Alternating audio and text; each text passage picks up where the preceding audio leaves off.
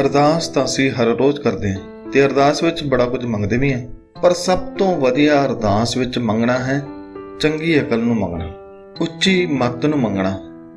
ਅਕਲ ਯਾਨੀ ਮੱਤ, ਬੁੱਧ, ਵਿਵੇਕ, ਸਿਆਣਪ, ਸੁਮਤ। ਯਾਦ ਰਹੇ ਅਕਲ ਵੀ ਉਹ ਹੋਵੇ ਜੋ ਗੁਰੂ ਪਾਸੋਂ ਮਿਲੇ, ਜੋ ਗਿਆਨ ਗੁਰੂ ਪਾਸੋਂ ਮਿਲੇ, ਕਿਉਂਕਿ ਅਕਲ ਵੀ ਕਈ ਤਰ੍ਹਾਂ ਦੀ ਹੁੰਦੀ ਹੈ। ਮਾੜੇ ਕੰਮ ਕਰਨ ਲਈ ਵੀ ਅਕਲ ਦੀ ਲੋੜ ਹੈ ਤੇ ਚੰਗੇ ਲਈ ਵੀ। ਸੋ ਤੁਸੀਂ ਜਦੋਂ ਅਰਦਾਸ ਕਰਦੇ ਹੋ ਤਾਂ ਇਹ ਗੱਲ ਦੇਖੀ ਹੋਏਗੀ, ਹਮੇਸ਼ਾ ਪੜਿਆ ਹੋਏਗਾ, ਉੱਚੀ ਮੱਤ। ਪਰ ਅਰਦਾਸ ਵਿੱਚ ਉੱਚੀ ਮੱਤ ਤੋਂ ਪਹਿਲਾਂ ਮਨ ਨੀਵਾ ਵੀ ਲਿਖਿਆ ਹੁੰਦਾ ਹੈ। ਜਿਵੇਂ ਕਿ ਮਨ ਨੀਵਾ, ਮਤ ਉੱਚੀ। ਸੋ ਅਸੀਂ ਉੱਚੀ ਮੱਤ ਗੁਰੂ ਸਾਹਿਬ ਤੋਂ ਪ੍ਰਾਪਤ ਕਰਨ ਲਈ ਅਰਦਾਸ ਕਰਨੀ ਹੈ ਅਤੇ ਮਨ ਨੂੰ ਨੀਵਾ ਰੱਖਣਾ ਹੈ। ਕਿਉਂਕਿ ਮਨ ਦੀ ਮੱਤ ਜੋ ਹੁੰਦੀ ਹੈ, ਉਹ ਨੀਵੀਂ ਮੱਤ ਹੁੰਦੀ ਹੈ, ਅਲੱਪ ਮੱਤ ਹੁੰਦੀ ਹੈ, ਪੰਖੀਰੂ ਮੱਤ ਹੁੰਦੀ ਹੈ। ਮਲੀਨ ਮਤ ਹੁੰਦੀ ਹੈ ਇਸ ਨੂੰ ਅਹਮ ਬੁੱਧ ਵੀ ਆਖਿਆ ਗਿਆ ਹੈ, ਜਿਵੇਂ ਕਿ ਗੁਰਬਾਣੀ ਵਿੱਚ ਫਰਮਾਨ ਹੈ ਕਿ ਅਹੰ ਬੁੱਧ ਕਰਮ ਕਮਾਵਣੇ, ਗ੍ਰਹਿ ਬਾਲੂ ਨੀਰ ਬਹਾਵਣੇ। ਅਹੰ ਵਾਲੀ ਬੁੱਧ, ਮਨ ਦੀ ਬੁੱਧ ਭਾਵ। ਅਹੰਕਾਰ ਦੀ ਬੁੱਧ ਨਾਲ ਕੀਤੇ ਕਰਮ ਰੇਤ ਦੇ ਘਰਾਂ ਵਰਗੇ ਹੁੰਦੇ ਨੇ ਥੋੜੇ ਜਿਹੇ ਪਾਣੀ ਨਾਲ ਰੁੜ ਜਾਂਦੇ ਨੇ। ਸੋ ਇਸ ਲਈ ਚੰਗੀ ਅਕਲ ਲਈ ਉੱਚੀ ਮਤ ਲਈ ਅਰਦਾਸ ਕਰੀਏ, ਜਿਸ ਨੂੰ ਗੁਰਬਾਣੀ ਉੱਤਮ ਮਤ, ਨਿਰਮਲ ਮਤ ਗੋੜੀ ਮਤ ਤੇ ਪੂਰੀ ਮਤ ਵੀ ਕਿਹਾ ਗਿਆ ਹੈ। ਜਿਵੇਂ ਉੱਤਮ ਮਤ ਮੇਰਾ ਹਿਰਦੈ, ਤੂੰ ਆਉ। ਉੱਚੀ ਮਤ ਨਾਲ ਹੀ ਅਕਾਲ ਪੁਰਖ ਜੋ ਹੈ, ਦਿਲ ਵਿੱਚ ਆਉਂਦਾ ਹੈ। ਪੂਰੀ ਮਤ। ਸਾ ਮਤ ਪੂਰੀ ਜਿਤ ਹਰ ਗੁਣ ਗਾਵੇਂ। ਮਤ ਤਾਂ ਉਹ ਪੂਰੀ ਹੈ, ਜਿਸ ਨਾਲ ਅਕਾਲ ਪੁਰਖ ਦੇ ਗੁਣ ਗਾਏ ਜਾਣ। ਉਸ ਦੇ ਦੱਸੇ ਰਸਤੇ ਤੇ ਤੁਰਿਆ ਜਾਏ, ਫਿਰ ਹੀ ਪੂਰੀ ਮਤ ਕਹੀ ਜਾ ਸਕਦੀ ਹੈ। ਸੋ ਉੱਚੀ ਮਤ ਲੋਕਾਚਾਰੀ ਨਾਲ ਨਹੀਂ ਪ੍ਰਾਪਤ ਹੁੰਦੀ।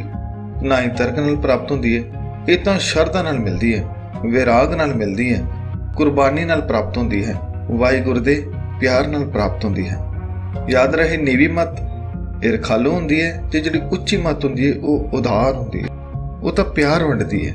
ਸਮੁੱਚੀ ਮਾਨਵਤਾ ਦਾ ਹਿੱਤ ਇਸ ਅੰਦਰ ਵਿਚਰਦਾ ਹੈ। ਸੋ ਆਓ ਗੁਰੂ ਸਾਹਿਬ ਅੱਗੇ ਚੰਗੀ ਅਕਲ ਲਈ, ਉੱਚੀ ਮਤ ਲਈ ਅਰਦਾਸ ਕਰੀਏ। ਸਾ ਮਤ ਦੇਹ ਦਿਆਲ ਪ੍ਰਭ, ਜਿਤ ਤੁਮੇ ਅਰਾਧਾ, ਨਾਨਕ ਮੰਗੈ ਦਾਨ ਪ੍ਰਭ, ਰੇਨ ਪਗ ਸਾਦਾ। ਹੇ ਮੇਰੇ ਪਿਆਰੇ, ਮੈਨੂੰ ਐਸੀ ਮਖਤ ਬਖਸ਼ ਜਿਸ ਨਾਲ ਮੈਂ ਪ੍ਰਭੂ ਨੂੰ ਅਰਾਧਦਾ ਰਹਾ, ਉਸ ਨੂੰ ਸਿਮਰਦਾ ਰਹਾ। ਸੋ ਐਸੀ ਮਤ ਲਈ ਅਰਦਾਸ ਕਰਦੇ ਰਹੀਏ। ਸਾ ਬੁੱਧ ਦੀਜੈ, ਜਿਤ ਵਿਸਰਹਿ ਨਾ ਹੈ ਸਾ ਮਤ ਦੀਜੈ, ਜਿਤ ਤੁਧ ਧਿਆਏ। ਸਾਂ ਸਾਂਸ ਤੇਰੇ ਗੁਣ ਗਾਵਾਂ। ਓਟ ਨਾਨਕ ਗੁਰ ਚਰਣਾ ਜੀ। ਕਦੇ ਵੀ ਸੱਚੇ ਨੂੰ ਤੇ ਸੱਚ ਨੂੰ ਨਾ ਭੁੱਲ ਜਾਈਏ, ਇਹੋ ਅਰਦਾਸ ਅਸੀਂ ਕਰਨੀ ਹੈ। ਤੇ ਕਦੇ ਵੀ ਆਪਣੀ ਅਕਲ ਦਾ, ਬੁੱਧ ਦਾ ਮਾਣ ਨਹੀਂ ਕਰਨਾ। ਕਿ ਮੈਂ ਬਹੁਤ ਕੁਝ ਜਾਣਦਾ ਜਾਂ ਪਤਾ ਹੈ। ਹਮੇਸ਼ਾ ਆਪਣੀ ਬੁੱਧ ਨਾਲ, ਆਪਣੀ ਬੁੱਧੀ ਨਾਲ, ਅਕਲ ਨਾਲ ਲੋਕ ਭਲਾਈ ਕਰਨੀ ਹੈ। ਖੁਦ ਦੇ ਕਿਰਦਾਰ ਨੂੰ ਉੱਚਾ ਚੁੱਕਣਾ ਹੈ। ਤਾਂ ਜੋ ਅਸੀਂ ਗੁਰੂ ਪਾਤਸ਼ਾਹ ਦੀਆਂ ਨਜ਼ਰਾਂ ਵਿੱਚ ਉਹਨਾਂ ਦੇ ਸੱਚੇ ਸੇਵਕ ਬਣ ਸਕੀਏ।